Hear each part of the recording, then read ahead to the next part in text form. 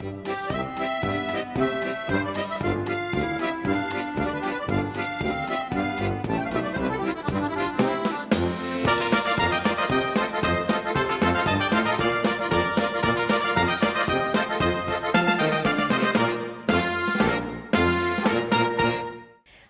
xin kính chào quý khán giả và các em nhỏ đang theo dõi chương trình Thiếu Nhi trên kênh TTV.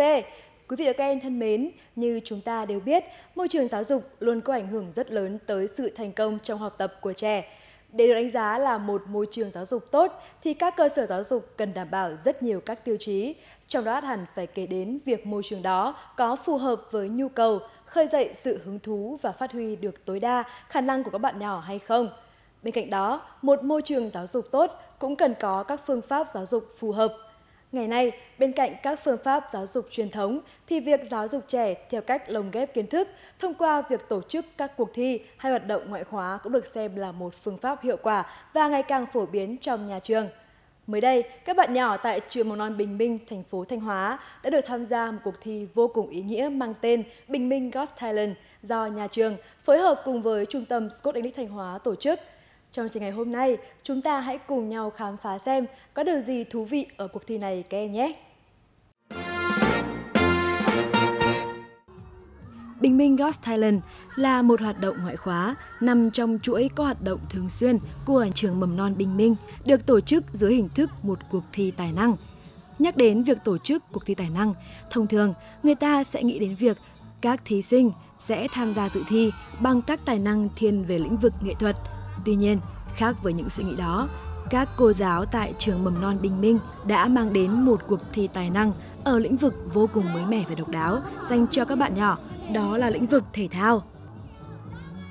Đây là một hoạt động thường niên mà trường mầm non Bình Minh thường xuyên tổ chức để tạo cho các con một sân chơi phát triển toàn diện cả về thể chất lẫn trí tuệ, giúp cho các con tự tin, mạnh dạn khi bước vào môi trường lớn hơn và giúp cho các con mỗi ngày đến trường luôn luôn là một ngày vui. Trước khi bắt đầu chương trình, các bạn nhỏ đã được tập trung xếp hàng và ngồi ngay ngắn dưới sân trường. Vẫn là bộ đồng phục ươm màu nắng vàng quen thuộc, nhưng hôm nay dường như có thêm một điều gì đó đặc biệt trên trang phục của các bạn nhỏ. Nhìn các bạn ấy, các em có liên tưởng đến các vận động viên thể thao không nào? Vì mỗi bạn nhỏ tham gia cuộc thi đều được ghi danh bằng những con số thi đấu được các cô dán trên áo. Nhìn các bạn ấy thật ra dáng các vận động viên nhí các em nhỉ?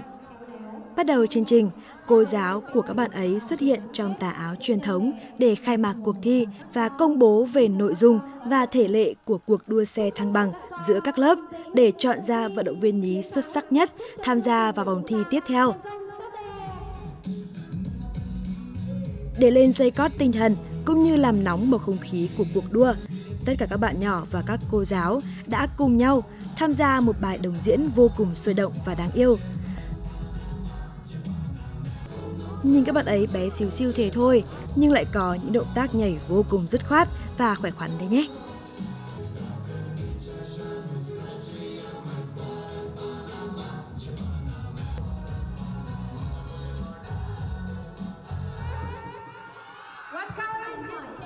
Sau màn đồng diễn khởi động, các bạn ấy sẽ đến với phần giao lưu cùng các chuyên gia ngôn ngữ của Trung tâm Scott English Thanh Hóa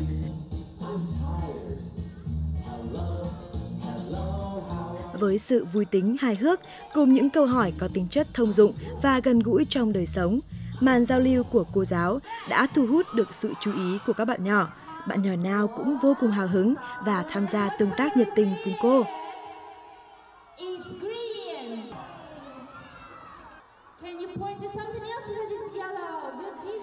Câu hỏi mà cô giáo đưa ra đã không làm khó được các bạn nhỏ của chúng ta. Rất nhiều bạn nhỏ đã nhận được phần quà của cô giáo rồi đấy.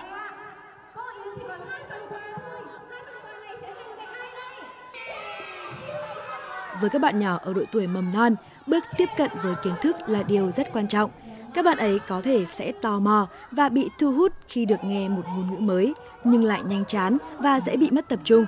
Vì vậy, việc đưa các buổi giao lưu ngoại khóa với những kiến thức nhẹ nhàng và hình thức truyền đạt hấp dẫn như thế này sẽ giúp các bạn tiếp cận với tiếng Anh một cách dễ dàng và hứng thú hơn rất nhiều.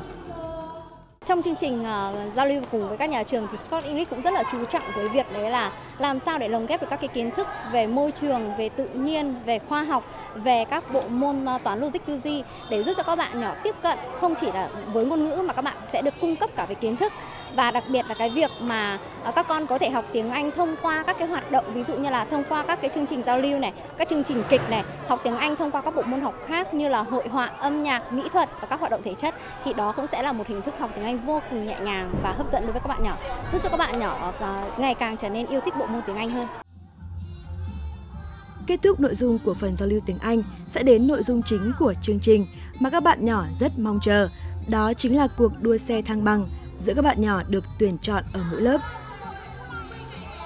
Cuộc đua sẽ được diễn ra lần lượt từ các bạn lớp bé đến các bạn lớp lớn. Mỗi lớp sẽ chọn ra khoảng 10 bạn nhỏ tham gia thi đấu cùng nhau để tìm đại diện mạnh nhất của lớp mình thi đấu với toàn trường.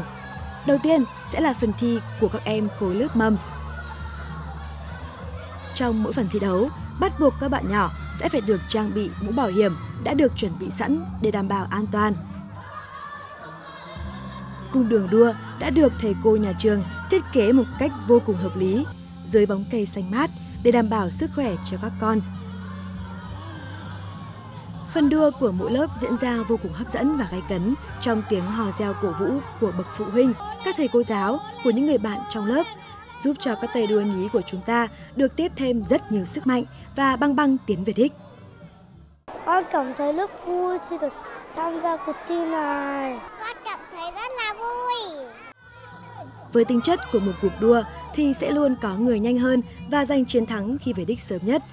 Và cũng có những người sẽ về đích ở phía sau. Tuy nhiên có những điều quan trọng hơn cả thứ hạng nhanh chậm, đó là việc phải hoàn thành phần đua và về đến đích. Bởi đó là sự nỗ lực cho mỗi con người để đi đến mục tiêu, chiến thắng chính bản thân mình, không bỏ cuộc dù trong bất kỳ hoàn cảnh nào. Đây cũng là thông điệp mà các thầy cô muốn các con hiểu được và hoàn thành sau mỗi phần thi. Vì thế, các vận động viên dù đua tốt hay chưa tốt, dù lớn hay bé, dù đang ở vị trí nào trên đường đua, cũng sẽ đều được các cô quan sát, động viên, khích lệ và hỗ trợ để các con đều nỗ lực chiến thắng chính mình và về đến đích. Ở vạch đích đó sẽ luôn có ông bà, cha mẹ, thầy cô và bạn bè chờ đón và chia sẻ niềm vui cùng với các bạn. Cứ lần lượt như vậy cho đến khi tìm được đại diện xuất sắc nhất của mỗi lớp tham gia thi đấu trận chung kết và tìm được vận động viên giành vị trí quán quân của Bình Minh Got Talent năm 2023. Các cháu nhà tôi học ở đây và cũng như các cháu khác ấy, thì những cái tổ chức như thế này các cháu rất hào hức. Có thể nói là các cháu ờ, cứ mong làm sao là đến buổi học để các cháu đến. Vâng, thì đấy là cái điều đó chúng các phụ huynh à, ông bà rất là yên tâm. Là một phụ huynh có con tham gia trong cuộc thi ngày hôm nay thì mình thấy đây là một sân chơi ờ, vô cùng bổ ích, kết hợp cho cho các con phát triển được cả về thể chất, vận động và cả các kỹ năng như là tiếng Anh và à, từ những cuộc chơi như thế này thì mình nghĩ rằng con sẽ tự tin hơn để tham gia vào các sân chơi lớn hơn trong tương lai và rất hy vọng là nhà trường và các ờ, đơn vị có thể cùng nhau phối hợp tổ chức những chương trình như thế này hàng năm nhiều hơn. Sau khi tìm ra được quán quân và kết thúc chặng đua, ngoài phần thưởng xứng đáng dành cho người chiến thắng, mỗi vận động viên nhí tham gia đều được trao tấm huy chương kỷ niệm và những phần quà xinh xắn, qua đó ghi nhận sự nỗ lực và khích lệ tinh thần của mỗi bạn nhỏ. Kết thúc cuộc đua với những phần quà và sự ghi nhận của mọi người, tin chắc rằng mỗi bạn nhỏ đều đã có một kỷ niệm thật đẹp, có những cảm xúc riêng động lại và chắc chắn sẽ tăng cường hơn về ý thức tập luyện thể dục thể thao, rèn luyện sức khỏe thật tốt để có thể khám phá và chinh phục các thử thách trong tương lai. Quý vị và các em thân mến, vậy là vừa rồi chúng ta đã được theo dõi những hoạt động vô cùng sôi nổi và lý thú trong cuộc thi Bình Minh Ghost Thailand của các bạn nhỏ tại trường mầm non Bình Minh, thành phố Thanh Hóa phải không nào?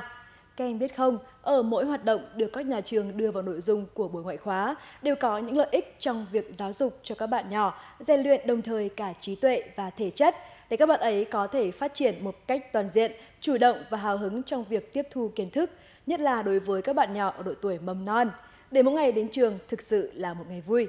Đến đây thì thời lượng dành cho chương trình thiếu nhi hôm nay cũng hết rồi. Cảm ơn quý vị và các em đã quan tâm theo dõi. Thành Thư xin chào, hẹn gặp lại trong các chương trình sau.